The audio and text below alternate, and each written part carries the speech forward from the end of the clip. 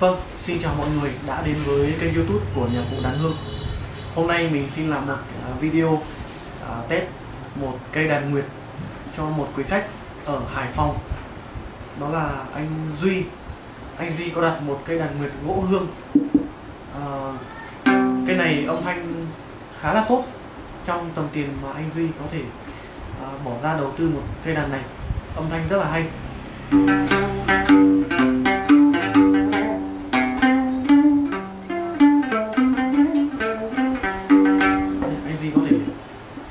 Qua đàn này mặt là mặt đàn nguyệt.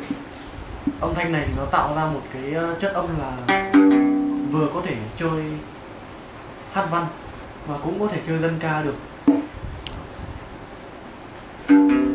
Đây, em sẽ test chất âm cho anh nghe thử.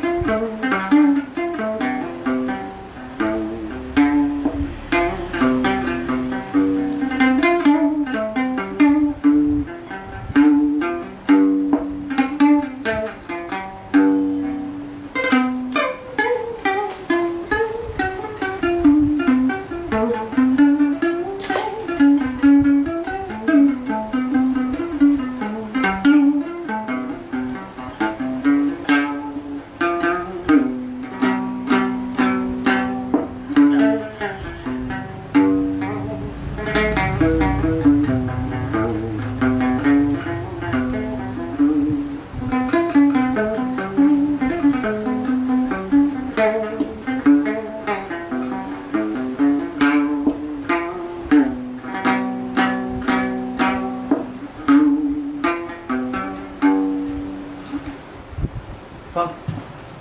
Như vậy là anh Duy có thể yên tâm khi nhận đàn nhé. À, anh có thể à, có thể kiểm tra hàng.